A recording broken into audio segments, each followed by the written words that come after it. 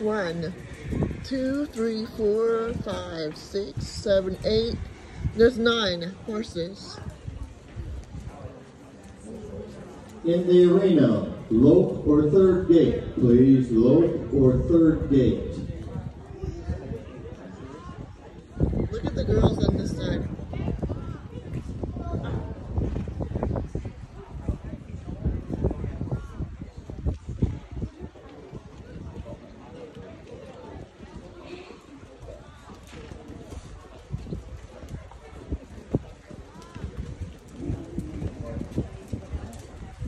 Was that? What did the horse do?